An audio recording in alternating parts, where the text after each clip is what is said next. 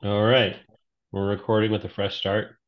Um, so this is a code review, um, a code exploration of the EOF code, trying to look into merging this into mainline. Uh, one of the reasons I want to start doing this is so that we can seriously talk about um, starting up a DevNet, um, an EOF DevNet, even if it's just Besu.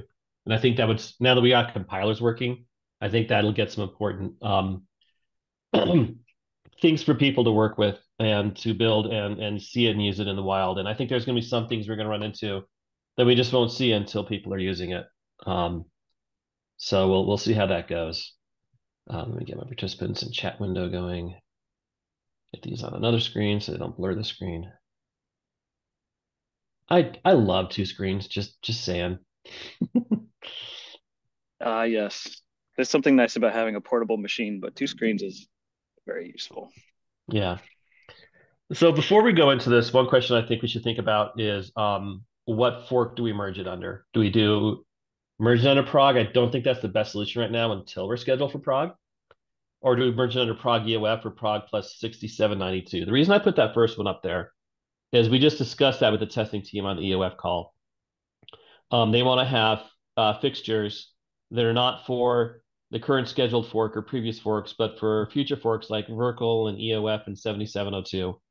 Um, so they need to have a naming convention. And I think we're going to go to Geth's convention from four years ago, which is base fork plus EIPs you're changing in order.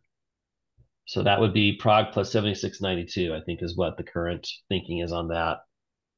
So we so, could still go ahead you want to it sounds like you want kind of like some sort of median between Prague being all the things and the experimental one that we have in there now? Right. Okay. Right. Is is the geth standard in that case that there would be a Prague and then a Prague 7692 or would there would Prague 7692 like be you know comprise Prague but like not require the Prague and the protocol schedule prior to it so, actually, one of the discussions, let me put this in here, um, is Cancun plus 7692 because evmone doesn't have the uh, request stuff that's going in DevNet 0 and DevNet 1, the sidecar stuff. They don't have that in theirs. And that's also breaking Geth tests. Um, you try and run Geth against the uh, EEST tests and um, it breaks because none of them have the request, um, have the deposits and withdrawals and the request hash. Um, so they're running into a test issue there because um, um, it looks like Gabriel just merged the PR I had to get Besu back up and running under the EEST because we need to put new fields in. But the idea is it would be the, the fork on the left plus all those other changes. And what makes Geth much better than Besu in this regard is all their stuff is just turn these features on, turn these features off. They don't have it as deeply nested necessarily as we do. Um, I suppose if we went to um, a Dagger injection for these protocol schedules, um, we could make it work. But I'm just concerned of compatibility with things like Classic and Enterprise if we rework that too dramatically. But it's getting pretty large. We're going to look into it anyway. I mean, yeah. I really want to do that anyway. Yeah. That, well, that invites that, that invites the uh, the pluggable protocol schedule into the conversation. That I probably don't want to get too into the weeds on that though. Yeah. Right. Yeah. Stay focused on getting the EOF into main somehow. So what we would do is we give it its own name. We call it Prague EOF encode, but in um in the reference tests and the uh, like in the um in the code where we get the uh, protocol schedules out, we would have the lookup be Prague plus 7692. So, or might I might just call it EOF in the code and rebase it off of that because Verkle will need one, 7702 will need one. Yeah, is kind of in that similar boat with the, the Cancun proposition where it's currently based on Shanghai. It's a, it's not fun to maintain. The Shanghai is the worst part, but I'll reserve comment. Okay. So let's just think about this while I go through the code and we'll come back at it at the end. So I just did a merge. So hopefully this is all based off of uh, the most current differences. I haven't run it yet to make sure it still works. Um, but as far as the general structure for what's going on, there are some minor integrations up here. Um, with the protocol schedule, I added some new fields. We'll see that when I go through the diffs. Um, I added a couple of commands to the EVM tool, EOF test, which is needed for code validation, and pretty print, which takes an EOF and creates basically an assembly format output of it. Um, you'll see some of this in some of the tests. So let's see, our jump v. Of course, it's ugly like this. But if I take this and you can see that it prints out something pretty like that from just the text input. And of course, I lose all my tabs. There's supposed to be spaces in here making it even better. But this is what the pretty print command does. And there's a dash F option, which is really invaluable when I run um, when I run when I'm developing tests for it. If it parses, it'll print it all out, and if there's like a stack or code validation error, it'll print out the error so I can look at it and reason about it. So pretty print, I think, is is a is a significant add. Um, EVM test tool or some testing. I test the new commands.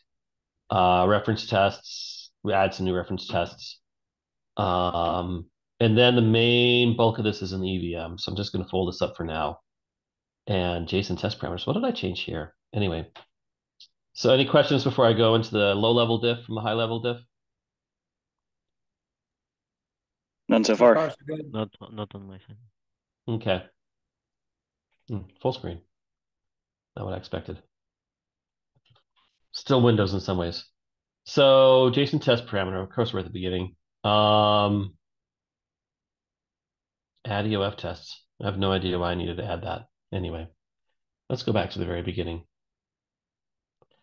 Minute protocol specs. The big change um, that has the most wide-reaching impact is um, this is what's changed. Uh, EOF code validation rules. Um, I don't know what this Boolean was. We'll get to it later.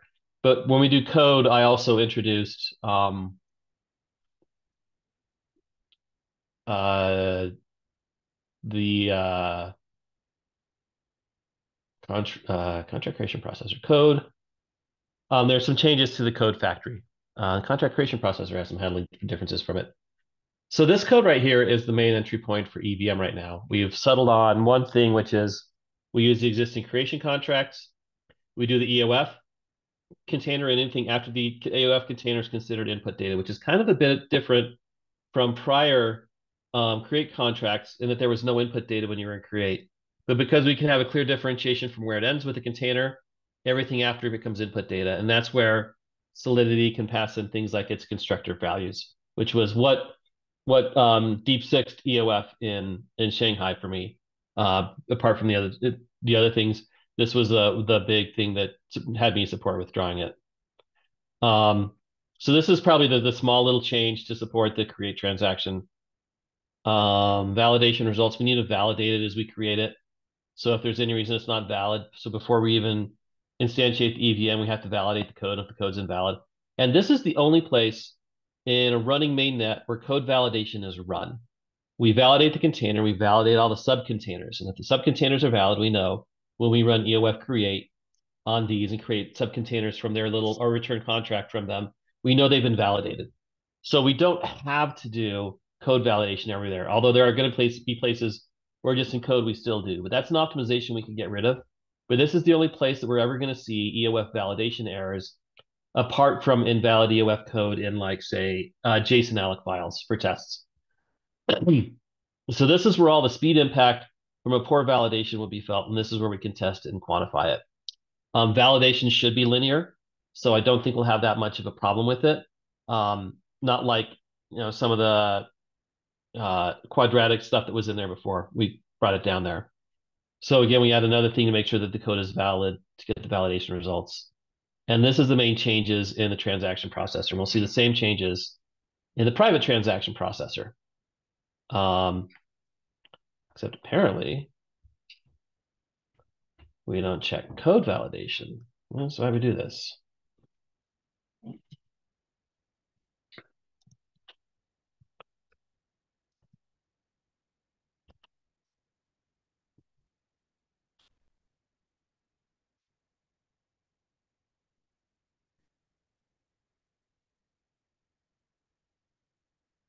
Right. So we just need to add these two lines, 419 to 429. Look at this. We're already we're already making progress here. Yep.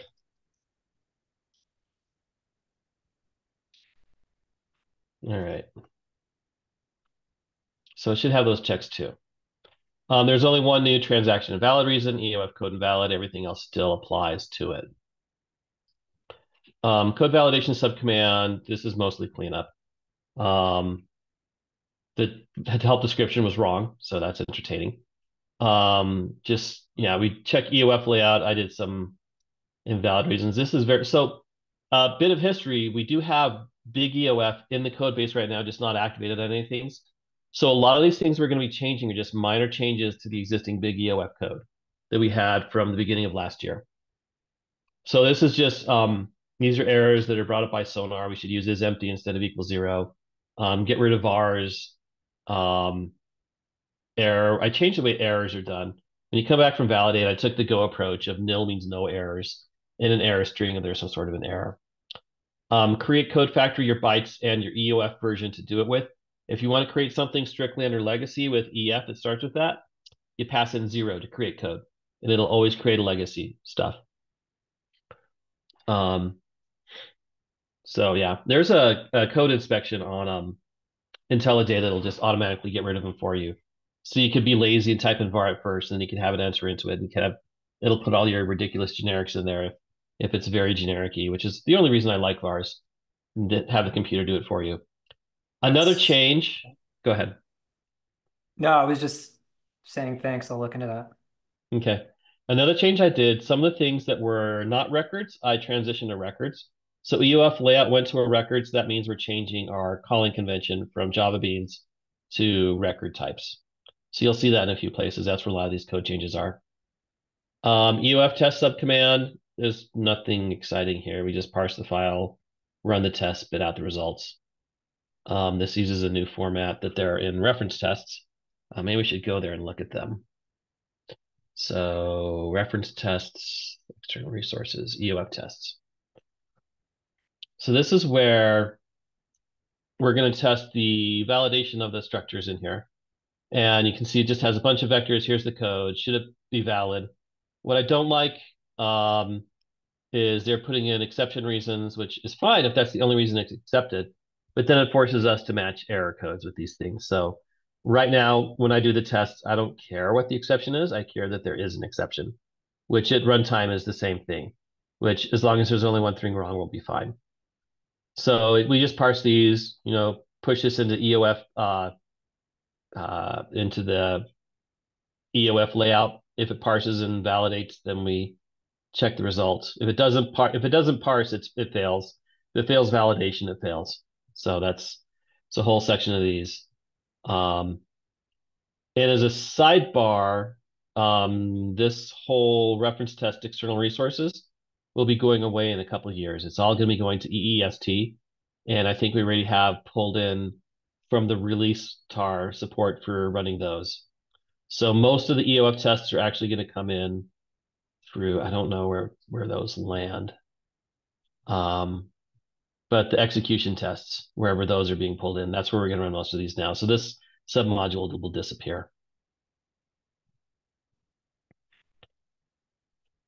Um, need to add the new tools.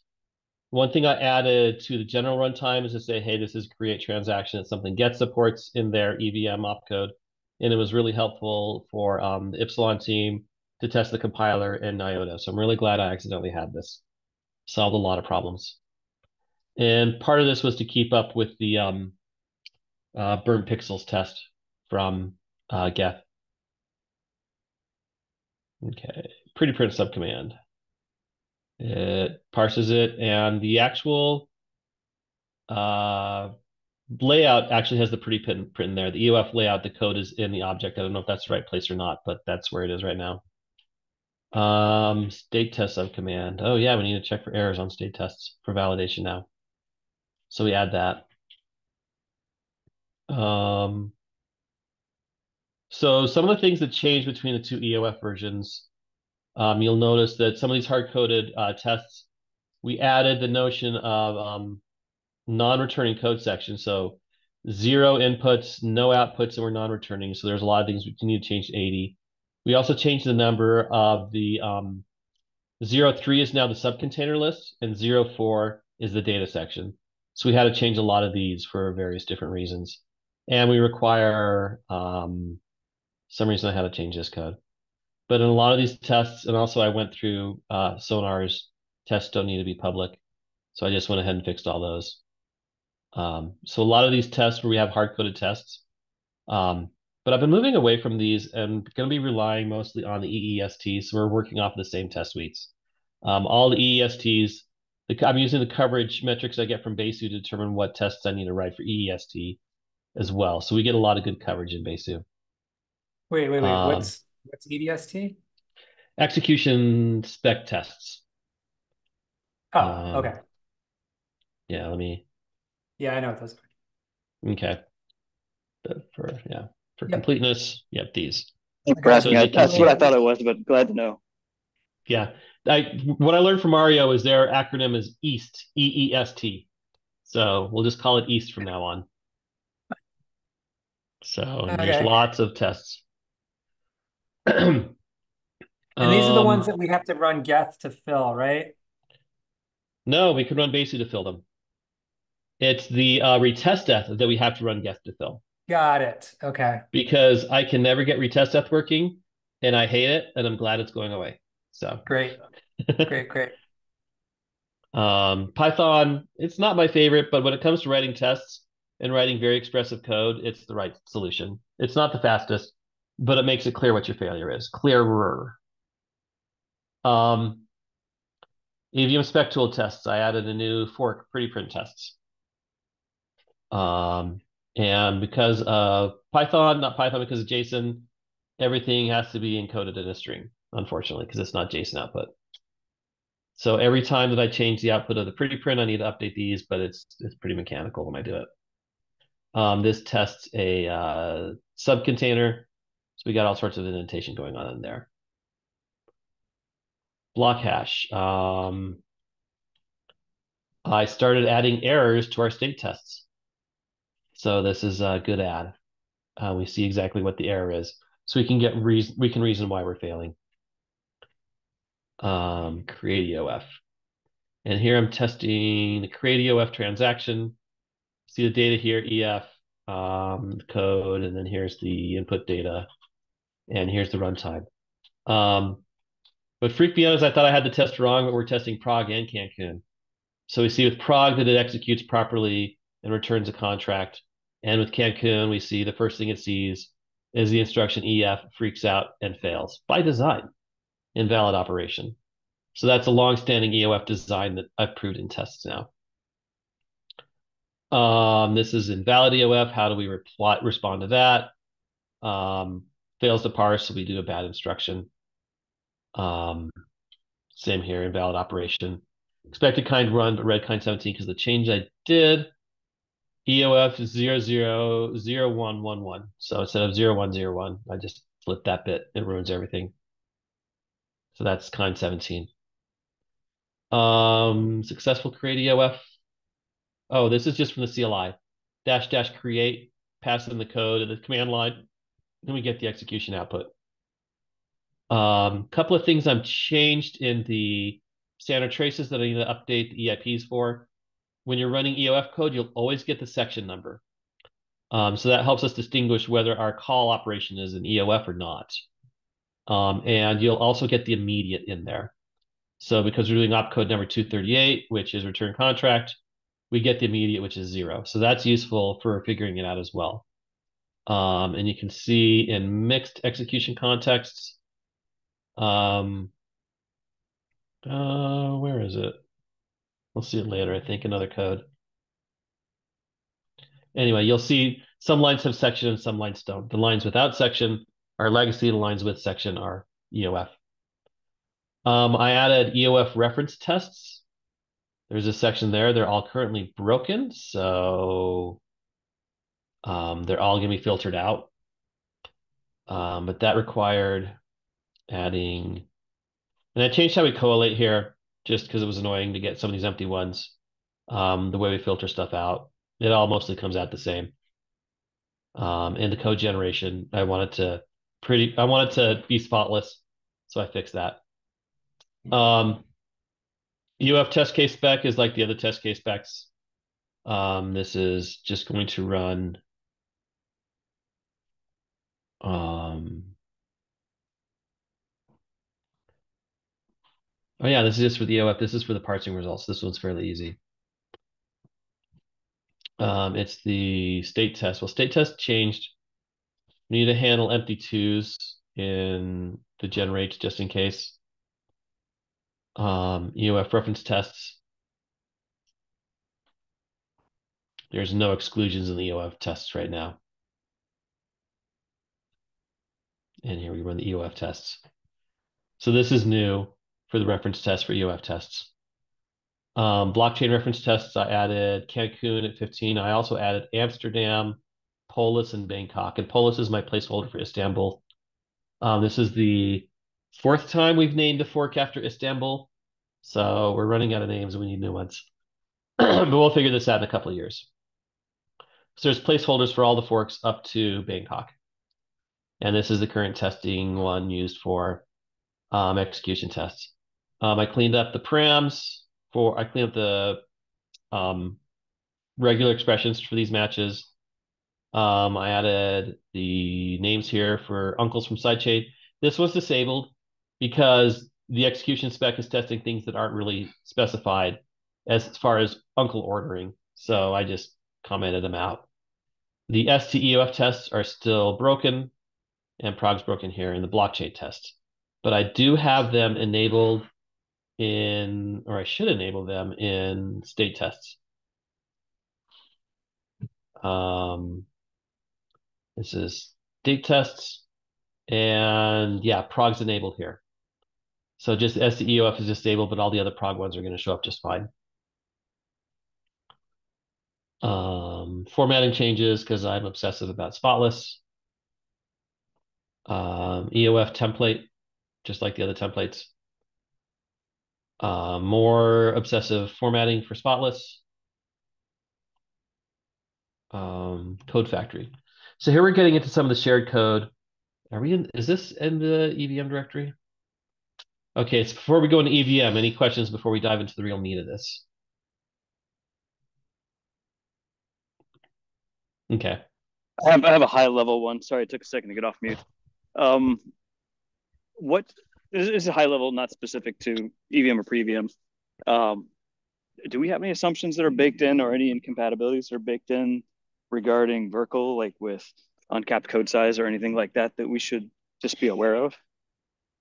No. Um, the code sizes are a function of the protocol spec. Um, and we're going to have to change the way we marshal the code.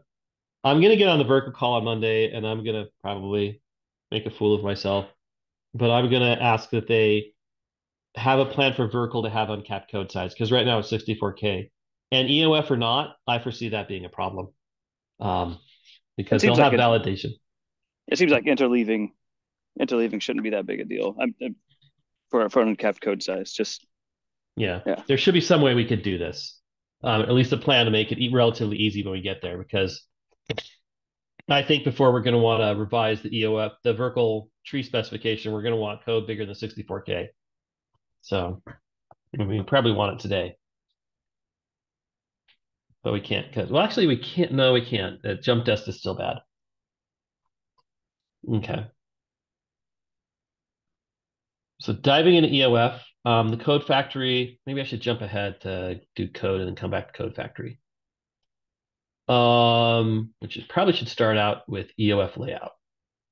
EOF layout is where we store the structure of the EOF code. And I've moved it to a record. Um, so it's fairly simple. Um, so a lot of the constants have become much simpler. There's a lot less boilerplate. Um, and this has the section data and all the other run, run things in there. One concept we've added is a container mode, and this is for validation. Um, if you're in init code mode, you cannot have stop or return. If you're in runtime, you cannot have return contract. And I think that's the only impact right now is there's some validations that matter. And you'll know top level whether you're in init code mode because you're in a create transaction, or runtime mode because you're coming from an alloc in your JSON files in your in your um, world state in your uh, Genesis. So you'll know that at the beginning. So only in a few cases of testing will you really be unknown. But once you get there, as you go down into the different uh, subcontainers, you always know whether you're in a code container or a runtime container. So this, you know, reduces some errors in the code. Um, so we got sub we added subcontainers since Shanghai. Um, we allowed the data size to be shorter in a few instances, so we need to track the data size that is declared in the header. Um, so those are the two main changes. Um, this is a parsing aid for peak kind that helps us see what the next kind is because kind number three is not required. So we need to look ahead from two to see if we can handle three. And if not, we step forward in the parsing of the code. Um, so yeah, I think uh, when we get to subcontainers, where we're going to use pkind. So we parse the subcontainer sections, and it's just like a code section in the header. So Um, stop me if you're going to get to this later, but the subcontainer stuff, was that what we introduced to wrap functions? no, Okay. subcontainers are the solution to um, code introspection. So let's say you're a um, Uniswap contract and you need to deploy your your pair contracts um, on demand. So instead of having a random blob of data that you call create two over that you can manipulate and replace all of the code sections that reference um, the pairs with the numbers and rewrite it and deploy that. Instead, we have a fixed container that has the code that could possibly be, be precompiled for AOT, or it could be ZK'd, or you could do nothing with it and just interpret it. But it's sealed and contained, and you can append stuff to the data section to get your pair num your pair addresses to the end of the contract, and that's why we have the variable sizes. So you can be short um, 64 bytes in your data. You know, we only you know you say you have a 65 byte, we only have one byte in the data. So when you do a return contract, you can specify the remaining 64 bytes to be appended, possibly more, and you append those to the contract, and those are baked into the contract now. So you still have your pair contract that has your two pair addresses that is immutable and stored on the blockchain, rather than putting in storage and hope they don't change. So that's what subcontainers are for, is to handle create and create two situations.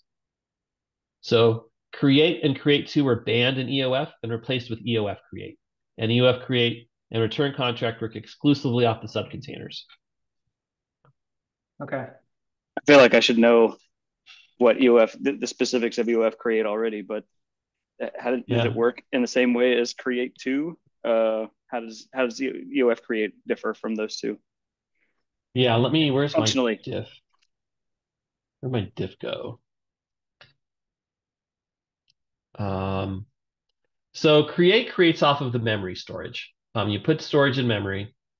Um, where's my pretty print? So you would put your storage in memory and you would um, manipulate it in memory, and then you would just uh, deploy your code from there.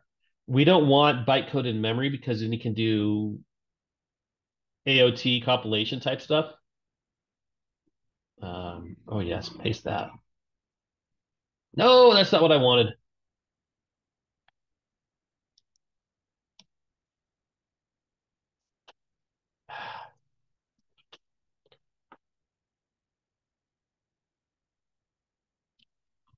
I hate IntelliJ.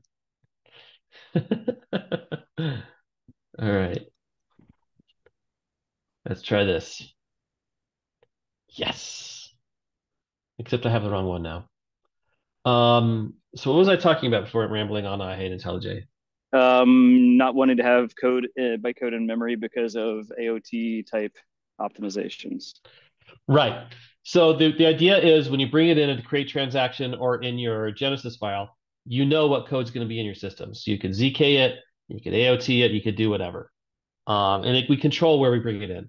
Versus in the current world, where you can write your code, you can literally create it just in time. You can create the code, you can use other people's code, you can introspect, you can change it. So you have to have built into your system to be fully functional an EVM interpreter. Whereas if you close the system and close your inputs, you don't need an EVM interpreter. So that's the world we're trying to get to. That's going to make ZK and AOT easier because they know what gates they need to look for for code. And in some systems, they can just reject it and say, sorry, we only do these 10 codes. We're, we only do these 10 contracts. We're a game. You know, too bad, so sad. Go use a general purpose chain for yourself. So the way this looks um, in a contract is, is this the um, call code, call data, EOF create. So this is how a runtime code would look that would create something in EOF. So imagine there's all the other, you know, Uniswap logic there, but here's the function that would call and create the subcontainer. So it says EOF create, EOF create, and it references subcontainer zero. And subcontainer zero starts here from the header. So it's a full on within the container, a full on EOF container in there. And because the peculiarities of the way init code works in in in in the Ethereum EVM, you need to have an init code subcontainer, and that init code subcontainer needs to have the deployed code subcontainer. So you call the init code, and this is all the code that is locked into the EVM and can't be changed. We do whatever prep work we need, like setting storage information and calculating values. And so we, we need to have a return contract. We need to push in how much call data we're putting on there. And then return contract zero. And then this is what we return. So here we say our data section is 64, but actually we have zero data. So that's why the init code needs to create the 64 bytes of data to append to the return code. And then this is what we actually deploy. Uh, we load from the data load, we load, from data load, store it, and then we stop. So this that's kind of an entertaining little toy to show here, but it shows the nesting, how these subcontainers are nested multiple levels within the parent container. So this is probably the biggest EOF change that we did from Meg from Big EOF. Okay. So And where that- was I? Where's it? Where's subcontainers JSON in the in the tree? Um, that example is in the EVM tool samples. Okay, cool. So you can look at that. So subcontainers in EOF parse is where we added a lot of the data for that. Um, we got to read the subcontainers. Um, this we got rid of because of records. And then we have subcontainer count. And then equals hash code, two toString. And then the right, we need to rewrite the container because of return contract. So you take an existing container, you add some auxiliary data, we rewrite it, which in, it consists entirely of writing everything we had before, except writing a new data size with the correct size. And if we don't have enough data, we fail. So this is used during the create process. Um, and then we have pretty print, um, which we just step through all the things and pretty print all this code. And um, it's recursive, so we need to know what our indent is and what our current prefix space is. Um, and then we need to do special cases for a few of the opcodes, such as relative jumps um, and relative jump vectors in exchange to make it a little more legible. And then we print out the subcontainer. So that's, yeah, that's, that's the uh, printing of it. That's where pretty print is handled. So the way this impacts us, not too much unless you have a subcontainer.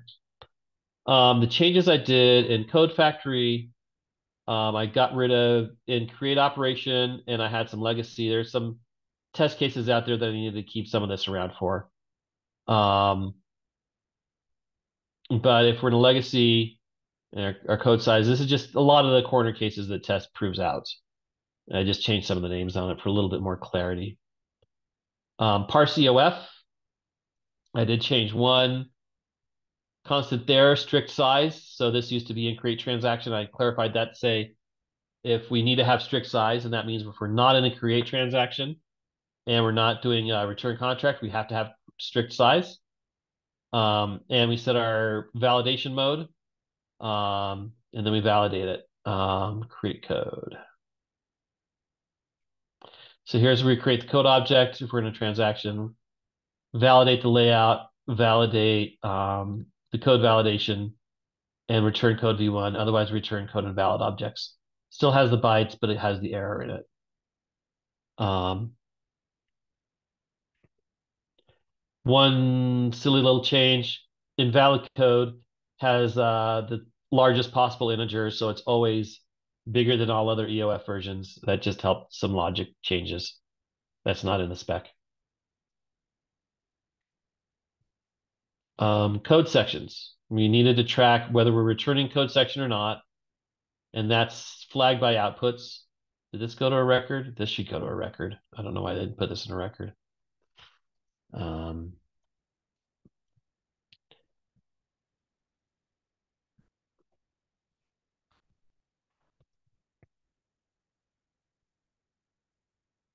there might be a good reason. But this is pretty simple. We just track whether it's returning now. Uh, we had all this in big EOF. Um, code v0. Um, just some tests for equals. Oh yeah, so we also need to read immediates, and for some reason I put this in the code. It seemed to work better here. Um, and this is a little more optimal in case we need to read bytes from um, legacy code, but I don't know why we would want to. You'll see it's down here also, but we're doing a different field to get to the container to get to the array on safe for data size for these immediate reads for the immediate operations. You'll see that when we get to the operations. Um, did we not have two byte immediates before, Dano? We did not. Yeah. Uh, well, we had in EOF we had two byte immediates. Now we have one byte immediates, two byte immediates, and two byte unsigned immediates. So it gets more interesting. Yeah. Um, and I think we had this in the operation. I just consolidated it to make it read easier and be less buggy. Um, but in legacy, all immediates are like variable size based on the opcode number. Um, code v1, yeah. Code v1 validation. This is where most of the magic happens. I took this entire structure and moved it out to something else called um, opcode info. So this tracks all the opcode info we need. Um, this is for V1. We might want to make a v- V0 version of this, but we don't need it in code. It would just be interesting for reference. Um, this is indexed by the values, the name, the opcode number, inputs, outputs, and the size of the operation. So almost everything is one byte long until you get down to the pushes, um, the dupes and the swaps are the same length. Um, and the data load n has an immediate. Our jumps and dupes have immediates. EOF create return contract as immediates. So that's what we're doing there. Sorry, my son's practicing for drum corps, so hopefully that won't be too annoying. Just barely hear anything. No worry. Good. Um, so the validation code had a complete rewrite for the stack validation. Um, we used to use the work list. I think is what's going on here is this stack val. This is the code validation. Code validation is mostly the same, um, except I unwrapped this in the case statement. I moved some of this from a switch case to instead of a chain of ifs because I thought it read better. Um, but code validation, the rules are mostly the same, except we had to add some new rules for some new opcodes. Um, return F, uh, not return F, jump F has new rules. Um, EOF create has new rules. Return data contract has new rules. So the code is validation itself is the same, mostly the same. Validate stack had a complete rewrite because we changed some assumptions. Um, you'll see we used to use a work list. We don't use the work list anymore for code validation. Uh, all bytecode has to first be referenced by forward jump, which really made dead code detection easier. So a lot of the logic got rewritten here. I just started over from scratch to make sure we passed all the tests. Um, and this is probably the most thoroughly tested code in EOF right now, is this validation stuff in Besu and evmone. Because this is where the new errors are going to happen. So we need to make sure that it's all tested very thoroughly. Uh, you can read the spec and get all the gory details of how the validation works. Um, yeah, so that's the validation. I think there's container validation that still uses the work lists, uh, not container, um, code section. Yeah. So I still use the work list to validate the code, uh, the functions. Um, but this is again, this is uh, this is linear time because even though we might be doing multiple nested loops, uh, we're only considering each section of code once, and that can be shown in the various two layers of the loop. So each each uh, each code function is considered once, and once we get to the end and we figured out we figured out all of the sections, we pass them. And if we fail, then um, we haven't considered all the code sections, and you have dead dead code section, and we we failed out of that. Um, let's see. Next is EOF layout. We already did EOF layout. And I pulled out the work list to its own class in case we want to use it elsewhere. it's where you take a piece of code, generates new work, you throw it back on the stack. Um, and this is designed to work with a fixed size work list. So I can optimize the are we done to say, well, we've thrown everything that all, everything on the list, so we're done. So I'm just counting on people not throwing in duplicates. Um, and I think that's in here to, yeah, we checked the duplicates here. So yeah, we're good with that. Um, code lost a Boolean field in create code. Uh, I can't remember what it was, but we didn't need it anymore because it was always false. So I just optimized it out. I think it was in create transaction. That's what it was. So this didn't matter in the code creation, whether we are in a create transaction or not. So I completely pulled it out. So this got much simpler. This is a bug that I found, and it's much simpler to say EOF versions are the same. We got burned by um, signed versus unsigned. So that's what got us there. So I'm just doing not equal, which matches the current spec. Uh, prefix code rule. Um, EVM execution. Again, I just added into the uh, Fluent APIs, the new forks that we know of. Um, it's not too exciting. I made this a switch expression, not too exciting there either. Uh, got rid of some validation errors that no longer happen with the new uh, code validation rules. So got rid of those and added the two ones that we do have, non-existent container. Address out of range. We're, we're allowing address-based expansion in the ext calls. So if you call one that's out of range, we throw an exception for now and um, or raise an exception. And in the future, we'll stop doing that when we figure out what we're going to do with it. So that's preserved so we can do address-based expansion in the OF. Quick question about the uh, exceptional halt reasons that no longer get hit. Is that they're not applicable to to legacy anymore to V0? Um, this... those were never in V0. Oh, These were EOF specific. These were from. I got you. Okay, got it. Yeah. Do I sound okay? Do I sound like a robot? No, you sound fine. Okay. I know my my connection's starting to degrade, but I want to make sure that bounds fine. Um, memory just had some minor cleanups. Message frame. Um, we track the code that we created. We have a return stack, which was what we had before. Um, I moved the jump F, call F, and return F into their operations. Um, when we create code, I store that on the stack. That's um, I remember why I needed that. Um, I guess I need to know if the code's valid. So that's probably why I need it. My track creation processor needs it.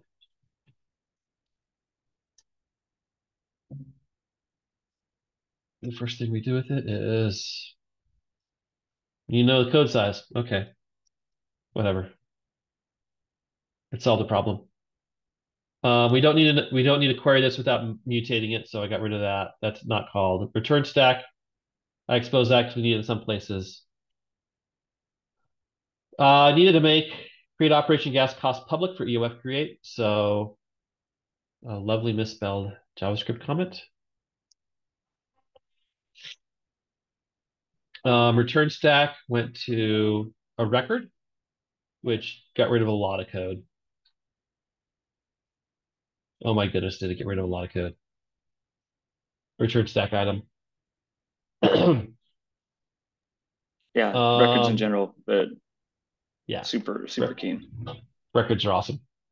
Um, I encoded the return values for legacy and EOF success uh, in the abstract call. So it's delegate. We need to know if it's a delegate because there's two ways to be a delegate now. So we can't just test the class. Um. Return legacy failure. Um, some special failure cases. Um, code valid. Um, this is not strictly for spec because invalid code shouldn't exist in the chain, but I have this in here just in case. We call invalid code, we fail. This is where we do the delegate call check for EOF code. Um, you can only delegate call um, EOF code that is the same version as you with ext delegate call. And that's to solve some issues with self-destruct and such. Um, why did I get this unwrapped? Oh, I changed this into a guard block up higher. That's what I did. That's why it's unwrapped. Um,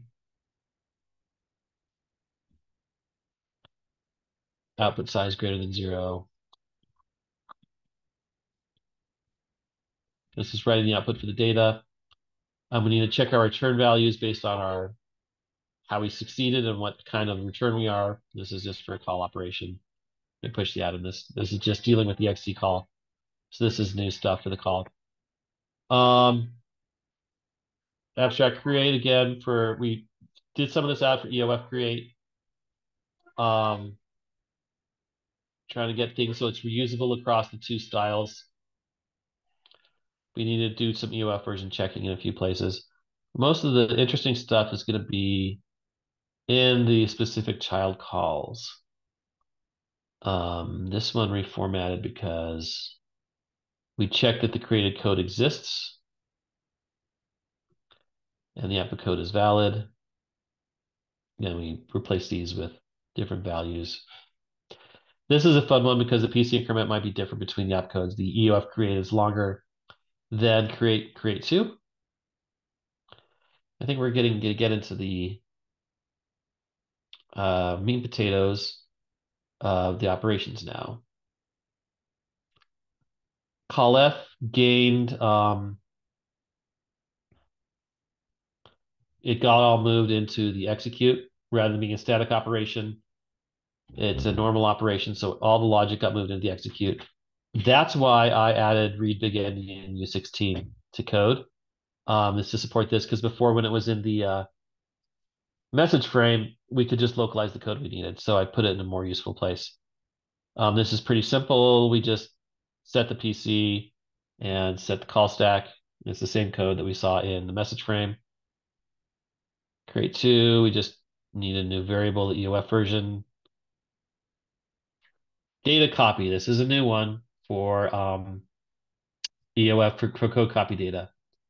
Uh, we just go to, we get the code, um, we get the stuff off the stack, we figure out where the data starts, read to memory, and return the, uh, the code. It's pretty boring one. Data load n is slightly different. We get our value from the immediate, our index, and we're always 32 and zero padded. So we just push that. Um, data load operation, um, we get it from the stack. Again, it's 32, zero padded from the data. Data load and data load n are just, you know, compiler requests. They some wanted immediate, some didn't. So we just made them happy. Data size, we just get the size from the code. Pretty I'm, simple. I'm, I'm curious, what are they going to use that for? You have any idea? Um, so they're going to use it for rather than rewriting the code and putting like hard coding addresses into pushes and pops, they're going to put it in the data section and they're going to data load n rather than push a static value in. So that's the big place they're going to use it for. So they don't have to go through the stack to get into memory, I see. Right, right. So if they want, if they always know where it's going to be in data, they may as well data load n it rather than push one the number. They save a byte, and that really gets some people excited. Yeah. Gas golf. Cool. Thanks. Yep. Um, delegate call operation. We tell it's a delegate. Dupe n. Um, this is like the other dupes, except instead of having it hard coded into the operation, uh, we pull it off of an immediate. No, we do, do we pull it off of a stack item? Oh no, we read the immediate from the code. uh, unsigned 8-bit, and then we do the stack item. This is why I had to do unsigned. This this was burning us on some of the tests when I just did assigned. Um, EOF create. Uh, what's interesting here? It's got some cost changes, different way to calculate the target address. Um, the init code is might somewhat be interesting here. We pull the immediate, we go to the code, get the subcontainer, return the code. So this get init code is something that I think we added. Um, I think abstract call. You might have went through that real quickly, too quickly probably. But the um, we added a call. Oh no, this this got pushed up and higher. I actually pushed this in a previous PR. This is already in main to where the um, init code. Yeah, so I already did that. So that's already in main. But the init code is returned from the function now. Same with the input data. You can pass in input data with it. Um, in create and create two, there is no input data, so that's pretty simple. Exchange, this was one Vyper wanted, and there's a bunch of logic and math that goes with it. Basically, you can take, you can swap items two and three on the stack um, without having to bring it up to, to item one. And you save like four bytes doing it, which is gets him excited. So this was something we put in at Vyper's request. Don't know if Solidity is going to use it. ext call. So the call series, we put an ext call, ext static call, and ext delegate call. And what's the difference between these and the regular calls is we don't let you specify how much gas you put in. We put in 63 64ths minus some stipend. Um, I need to fix the logic on this. We need to get test written for it. Um, we don't return data to memory. We only return it to the return data buffer because uh, most people don't care about it and use it. So we just take that out. So you still have the input data and the value that you push in. So that's what's reflected here. It's only four arguments long. Um, the two you're calling, how much you're pa passing in, where your input data is, and the output is just as if it's always zero. And other than that, it behaves just the same as a regular old call. And we'll see this. Um, here's the execute. What do I need to check for here? I'd have to write the execute special. Oh, address space ex expansion. This is where I check it. The ext calls need to check it and execute, otherwise they go to super. So we check the static and we we revert and we check if it's um, ASE and then we revert. So that's what we need to do. We Need to do that in all of them. ext code copy. Let's do the other ext calls before we do ext code copy. ext delegate calls, mostly the same there too. Um, again, the same execute. We check for address out of range. Um, and ext static a similar set of requests. And the reason that ext call has the static check is it's the only one of these calls that can bear value. So if you're setting value and you're in a static context, we need to throw an exception. So that's why we have this code here. That's also checked in call code, no, non-call code. Yeah, call code can do value, but regular old call has that. So three things we needed to change for um, to prevent code introspection, we need to change all the ext code uh, rules. So the ext code copy, so the, what we did is we've decided if you're looking at from legacy into EOF, all EOF code looks like EF00. Because if we didn't do this, you could call into a legacy code, have it introspect your EOF code, and then go back in, and then you've subverted the system. So that's why we decided you that you can't even look at EOF code. So we've decided if you do ext code whatever to it, it's as though you're looking into a contract that contains just the bytes EF00. So code copy, if you're going into EOF, you can copy the first two bytes just fine. We'll let you do that. Um, hash, we get the hash of the EOF, which is 9 dBF of EF00. And if you're trying to go into from legacy into EOF, that's what you get.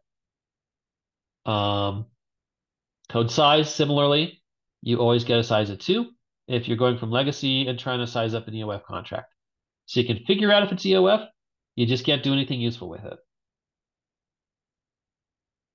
So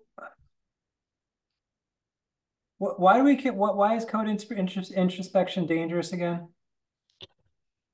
So this was something, um, since we were all at, at uh, Austin, at Austria, I can say who said it. This is something Vitalik was very passionate about during the EOF breakout in Austria.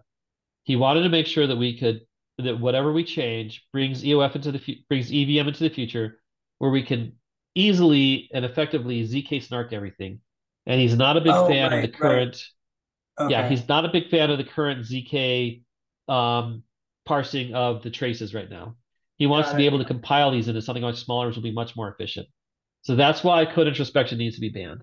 It's also handy for non-ZK systems if you want to AOT compile it into some system and have it looked at and smell like an EVM from EVM code, and you just cross compile it into it. So it's it's the same approach, just whether you're targeting a ZK system or non-ZK system. Okay, thank you. Um, so it's ex delegate, exe static. Jump F. Um, jump F is just like call F with more rules. The big thing is you don't push stuff onto the stack for it. So you just change your section, um, and there's no validation logic here because this was validated when the code was loaded if this jump F was going to work or not. So we just do it. Um, stuff that is done through code validation in all the operations, we just assume the validation passed. This could be much more efficient, go much quicker. So that's why we gate everything when it comes in and validate it and refuse otherwise. Jump FI, what changed here? I put a block here in case it gets called from legacy. Um, uh, we needed to change where our PC post instruction was. So we need to change some things for the operation result.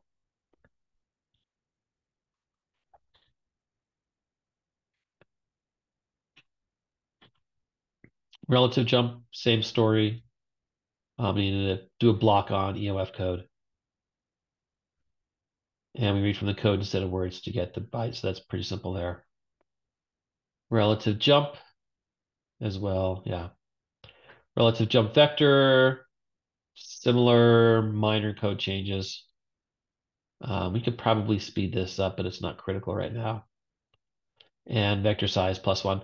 We did change our jump to be zero means there's one entry. So it's n plus one. So our jump zero is not a dead opcode. So we can now access 256 values with the with the whole field now. So that's one minor change. And that was changed from big EOF to mega EOF. Returnf. Um, we make sure there's something on the stack, we pop it, and we put you back in your old place. Again, this used to be handled in the um, in the frame, and we don't do that anymore. We brought all the logic into here. Return contract. This is one of the big EOF uh, functionalities. So we just do the work through it. We get your code data, um, calculate the cost. One important thing when we're writing opcodes, always check for gas before you do significant work. Um, this burned us in Nyota um, because we didn't check for gas. So we had a really ridiculously large link location or from location in memory, and we threw an exception. So we check before we access any memory to trigger memory expansion. Um, any significant work, we check the gas first. So we check the aux data, get the subcontainer. Uh, if it doesn't, if the code doesn't exist, we return a failure. We rewrite the code and we return it. Um, aux data, where's the aux data used? Get subcontainer, yeah. So it's code subcontainer. Um, yeah. And this is it's interesting. This is like one of the nice things, one of the few good things I got about working at um Hedera is they had some code auditor come in and check their reimplementation of some of the the opcodes that I wasn't involved in, but they needed to do for some of their weird Hedera stuff. Um, and they figured out that you know you're checking your gas later, you could have a broken meter type attack because you do a lot of work. It doesn't throw an exception, but you do a lot of work before you check the gas. People could really slow things down. And at their TPS level, it's very relevant. Um, return data load. This is changing to be easier. Um, they want it to be, no, this is the, the, the implementation. It is zero padded. So we go to the return data buffer and we return the appropriate slice or we zero pad it as necessary. Um, and then we push it onto the, the frame. Stop operation, just change the constant. Swap n, um, the same as dupe n. Uh, we just read the constant, um, do some validation up here, and just do the swap um, as, as deep as 256. So this will make a lot of Solidity programmers happy that they can have 256 variables instead of 16 before things go bad. T-load. Um, it is impossible to cause this exception to happen. So I went ahead and removed it. So because we're pulling off a stack item and we're pushing a stack item, so we can't make it overload. So I took those out in a few places. Um, abstract message processor. Oh, we're out of the operations. Cool. This is just a rename. Um, contract creation processor. We handle things differently if we don't get any code. Uh, depends on where we get the data. Could you go back uh, when you removed the too many stack item and how you you found that we don't need that because I already had uh, this kind of issue for Verkle and I was not sure where I can change uh, this stack trace or not. So Oh, you know that you can remove that.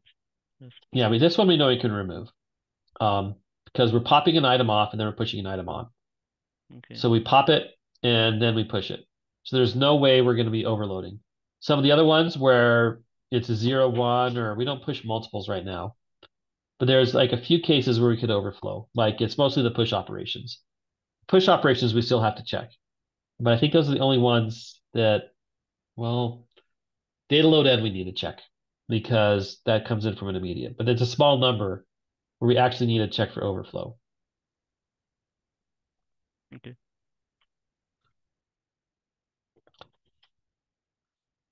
Standard JSON tracer. Um, oh, subroutine depth. Depth. So I needed to track subroutine depth in the standard JSON tracer. There's actually three fields that I added. There's the section, there's the immediate, and then if we're doing multiple call call how deep we are in the call Um, and this was needed. There was a in the test we test up to the limit, and this is useful to test in the limit. So if you're in if you're in call Fs, this will tell you how deep you are. Um, in case you're debugging. Code data size is an optional. Um, subcontainers zero. Um, data no data by default, and then the reads are all overridden. I probably could get rid of the defaults on the code, but I didn't want to break downstream users and the pretty print. And this is guess get code uncached. so this get code for creation. Um, this is how we avoid the cache now. Uh, we don't call get code on cache. We just create the code and don't go through the storage cache. And this create code gain a Boolean, whether we're in a create transaction because we need to track that, because we would need to know whether we need to be strict on size.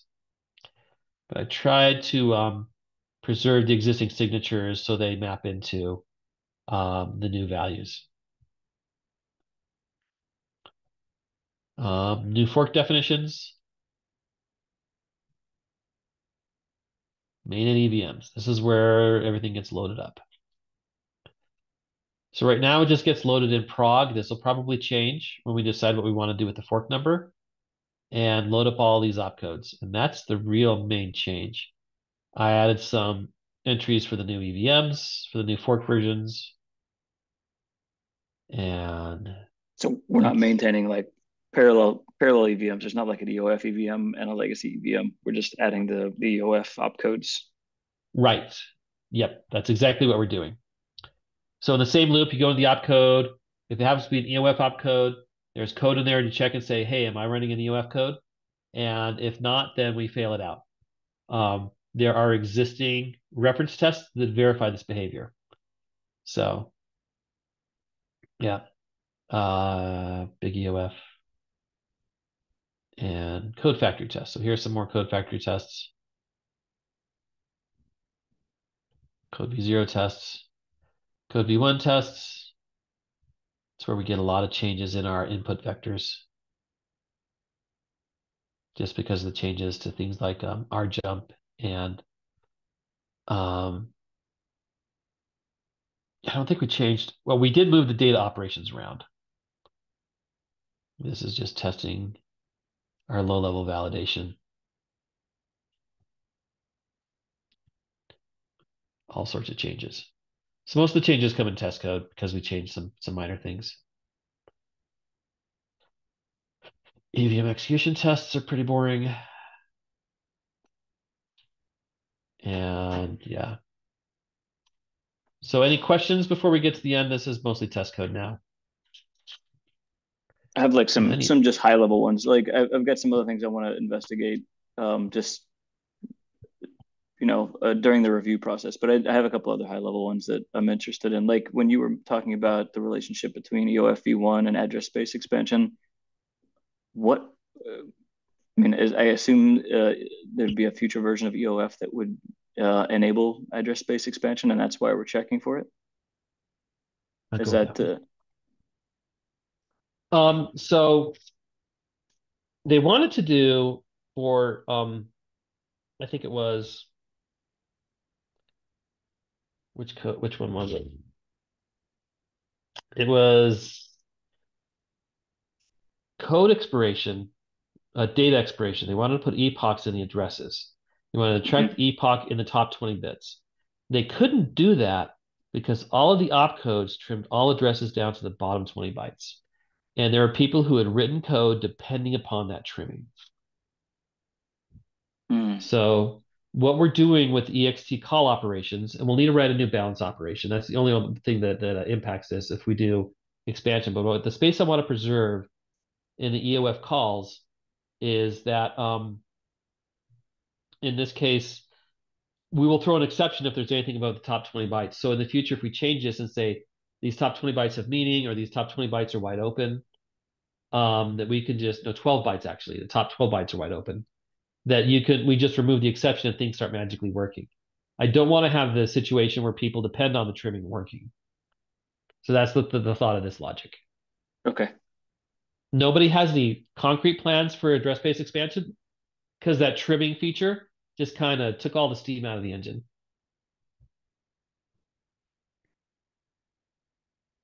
Okay, that makes sense. Uh, another one of the high level questions, um, kind of related to the address space expansion checks. What what other ELs are at uh, you know kind of at parity with Besu in terms of EOF implementation? I mean, it's it's not related to the PR, but just as a matter of curiosity, if someone were doing differential fuzzing against another client, is there anybody that is as far along as Besu is? Yeah, evmone. Um, we could do differential fuzzing with evmone. Um, Nethermind just got on the call. They want to start coding it up. Reth, I would say, is at our level, or at least should be at our level. So Reth, evmone, and Besu, I think, have the current spec implemented. Really, what we're waiting on is Geth and and Nethermind um, to implement it.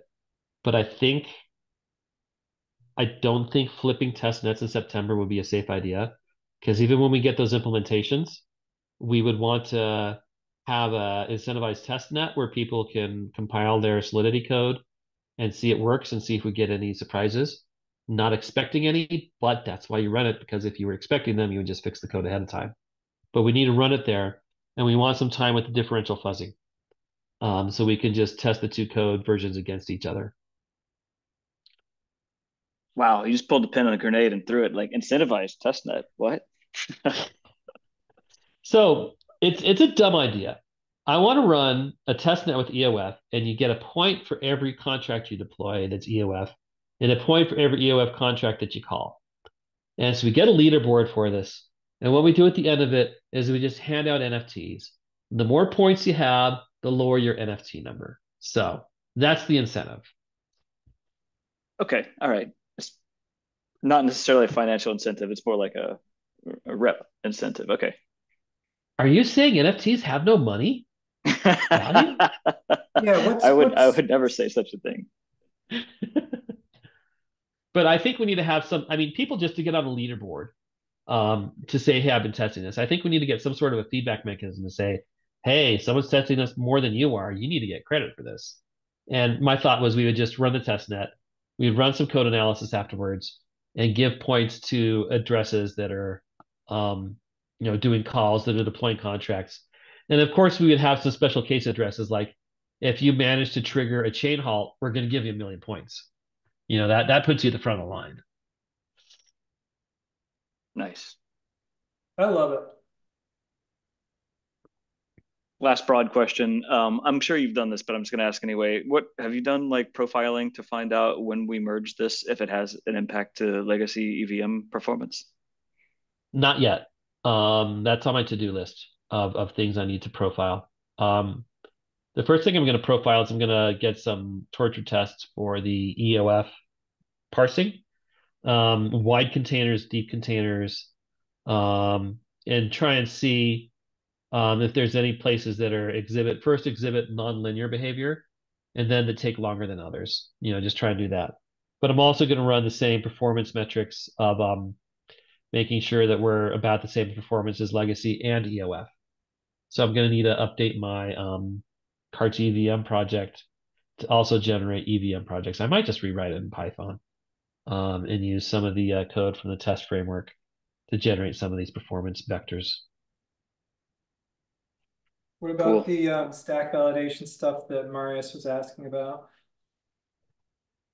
Um, he just needs to be better implementing it. Um, what can I say? Um, it's it's linear time. Um, you can implement it poorly if you want. Um, but that's on Geth if they decide to do that.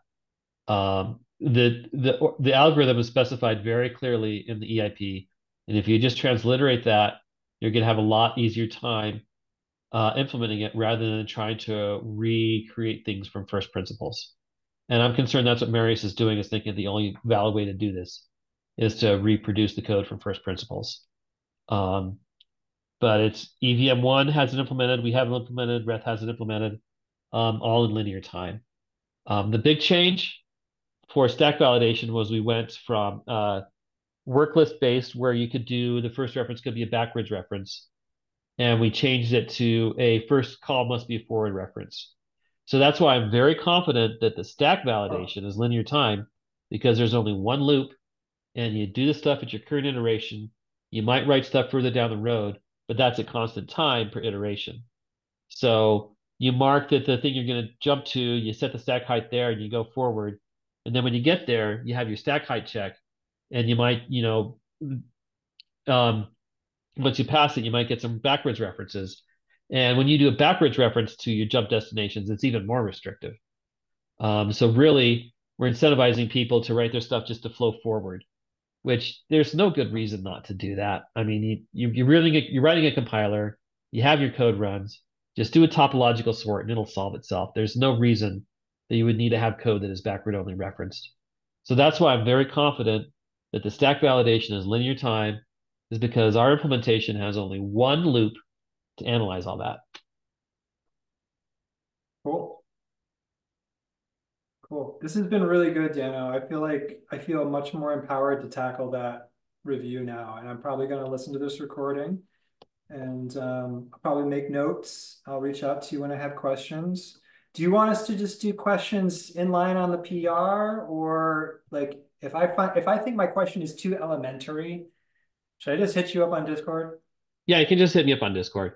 Um, I'll try and get this PR ready by next week. I'm gonna do the changes that I mentioned. Um, in where where's my where's my scratch? Have notes, yes. If you do I'm ask gonna- questions, uh, Justin, on Discord, maybe you could do it in a in a, a DM group or a uh, just a thread on the the basic thing. That way, we're not. I, you know, we can all learn from the questions. Yeah, I'll do it in contributors so everybody can see it. Yeah. Cool. So this is gonna be my favorite format, I think, for the fork. definition. I'll create a separate um, EOF fork in the uh, mainnet in the EVM. But when it Yeah. comes to configuring it from CLI and configuring it from um, the JSON files, uh, this will be the format I'll use as Prague plus 7692.